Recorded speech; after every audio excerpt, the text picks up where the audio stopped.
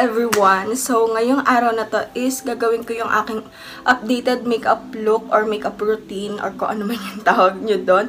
And ayan, as you can tell, papasok ako ngayon sa work and why not, ba i-share ko sa inyo yung ginagawa kong makeup pag papasok ako or for every day na ginagawa ko. Sobrang quick lang nito and sobrang easy lang gawin. Sobrang masusundan nyo. So, yeah.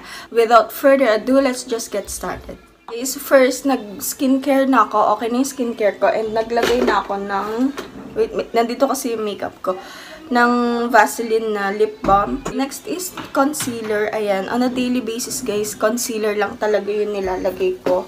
Dito lang, naglalagay lang ako dun sa problem areas ko, ganun. Hindi na talaga ako nagfa-foundation on a daily basis kasi ang heavy nun sa pakiramdam and parang masyadong nagka-clog yung pores ko kapag nagpa-foundation ako. So, so after nyan, i-blend ko na using this um, Glad King yata ko to nabili. Itong beauty sponge na to. I-blend out ko lang siya. So, after ko i-blend out yung ating concealer, naglagay na ako ng powder. Itong Johnson's Baby Powder na to. Ayan. And, yun lang talaga yung ginagamit ko guys. Kasi ito sobrang gaan niya sa pakiramdam. Ginaganan ko lang siya. Parang ibibake ko lang siya ng... Ibibake ko lang siya saglit. Sa face ko. After nyan, habang nagbe-bake, maggagawin ko na yung kilay ko. And, yung ginagamit kong kilay on a daily basis is itong The Face Shop na eyebrow pencil. And, ayan. Kailangan ko siyang kasahan, besh. Very quick lang guys. Hindi na ako mag-shape ng kilay. I-fill inan ko lang yung mga bald spot dun sa kilay ko. After nyan, i-blend ko na tong pulbo sa face ko. For the blush, ang gagamitin guys itong Vice Cosmetic na Aura Blush in the shade Bucon. So, gaganan ko lang and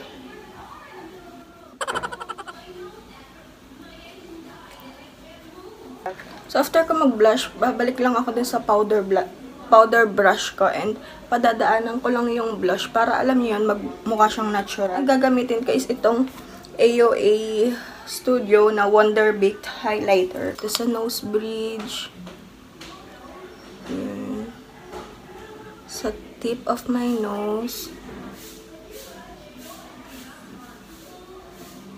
Dito sa brow bone. Hair sa Cupid's bow. Sorry kung ang baba ng energy ko kasi ang aga pa and papasok pa lang ako. So, yes. Itong Tansy Beauty collabor in collaboration with Miss Tony Sia. And ang shade ko dito is Peach Perfect. Yes.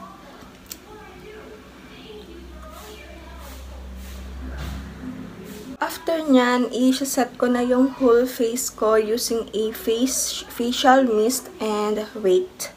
And yung facial mist na ginagamit ko is itong Fresh Skin Love na aloe vera face mist. Ito siya guys. Wait. Ayan. Kaya ko lang to sa Watsons. And ito, ito yung magpapa parang um, natural nung face natin para hindi siya powdery kasi lalo na ang ginamit natin is pulbo.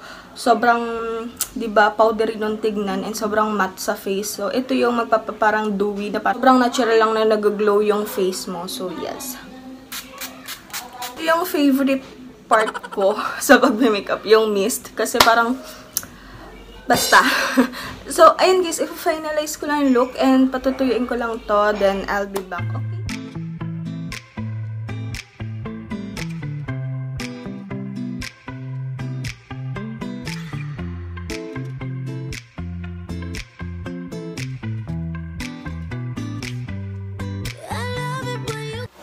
Guys, and ayan, may nakalimutan pala akong gawin sa aking everyday makeup. Yun ay ang mag curl ng lashes. So, ginagawa ko yan lagi-lagi. So, dito lang sa video na to hindi. So, nakalimutan ko kasi.